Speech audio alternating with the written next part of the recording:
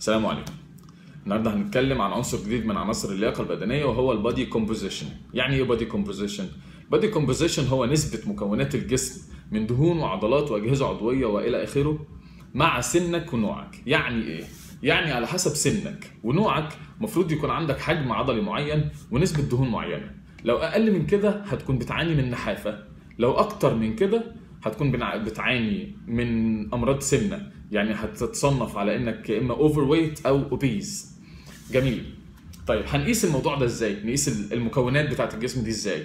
زمان كان في طرق بدائية كده بتطلع لنا نسبة الدهون في الجسم بس مش بتطلع نسبة العضلات في الجسم. دلوقتي في جهاز جميل جدا كده بتقف عليه ثلاث دقائق في sensors لرجليك بتحط عليها رجليك و sensors بتحطها في إيديك وبتدي له سنك وطولك ونوعك وهو بقى بيطلع لك المكونات التانية دي كلها مع وزنك الكلي. جميل في ثلاث دقائق بس بيطلع لك الكلام ده.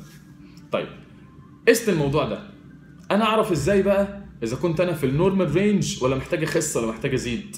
لو ما كانش الجهاز بيطلع لك أنت محتاج تخس قد إيه وتزيد قد إيه لأن معظم الأجهزة دي بتعمل كده هنعمل لك إحنا في ال caption فوق الأرقام اللي المفروض يكون عليها أو ال range ال normal range اللي المفروض تكون عليه عضلاتك ودهونك بالنسبة لسنك ونوعك. طيب جميل. أنا عرفت بقى إن أنا محتاج أزود عضلات أو أخس دهون أو الاثنين هزود عضلات إزاي واخس دهون إزاي؟ ناخد بالنا بقى هنا. علشان تزيد عضلات أو تخس دهون الاثنين اولا محتاج تهتم بأكلك. لازم تظبط أكلك مع حد بيفهم يعمل لك دايت محترم لايق عليك لايق عليك يعني متفصل عليك أنت وتمشي عليه فترة طويلة. جميل؟ الحاجة التانية بقى اولا عشان تزود عضلات في التمرين محتاج تهتم بحاجتين مهمين جدا. اولا إن أنت تشغل أكبر عدد ممكن من الانسجه العضلية اللي موجودة في العضلة. ثانيا إن أنت تعمل blood pump يعني ضخ دم عالي جدا في العضلة. طيب الشرط الأولاني هيتحقق إزاي؟ إن أنا أشغل أنسجة عضلية كتير من العضلة بإن أنت تشيل وزن تقيل. بس الوزن التقيل ده لو زاد عن حده قوي لدرجة إن أنت يا دوب بتعمل بيه من من أربع لست عدات مثلا زي ما اتكلمنا في ال strength إن إحنا علشان نزود القوة العضلية لازم نشيل وزن تقيل جدا عدد repetitions قليله هيبقى في مشكلة إن أنت هتضطر إن أنت تريح فترة طويلة بعديها فال blood pump الشرط التاني بقى مش هيتحقق لأنه هيبقى هادي شوية. أنت محتاج ت...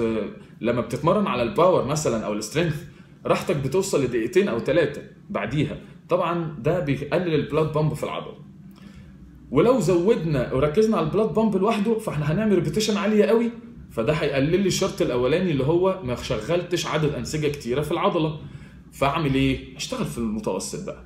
اللي هو معظم الأبحاث قالت من 8 ل 12 عده من 8 ل 12 عدة هتحقق الشرطين مع بعض فهتزود الحجم العضلي بتاعك. طيب نحرق دهون إزاي؟ هنعمل إيه في التمرين؟ نزود أو نركز على ال cardio. ال cardio يا جماعة مش بس أجهزة ال cardio ال treadmill بقى وال elliptical والحاجات دي.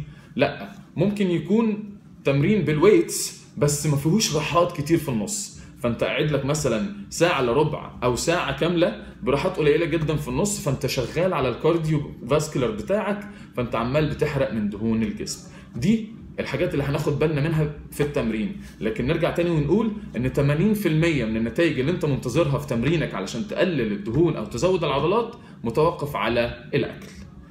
ده البادي كومبوزيشن. لو حد عنده سؤال يبعت لنا واستنونا الفيديو الجاي مع عنصر جديد من عناصر اللياقة البدنية. سلام.